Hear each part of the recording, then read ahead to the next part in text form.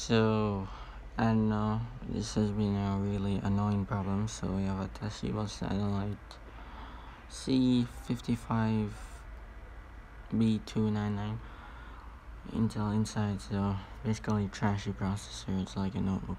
So every time I try to install Windows, because it's been wiped, I'm trying to install Windows 10 on it. It initially comes with Windows 8. Every like after I try to one time I shut it down, accidentally force shut it down because it was like crashing or whatever. And every time I try to boot it up, it keeps loading and stopping. So every time I try to install Windows, either it stops at 60% or 40% and doesn't move.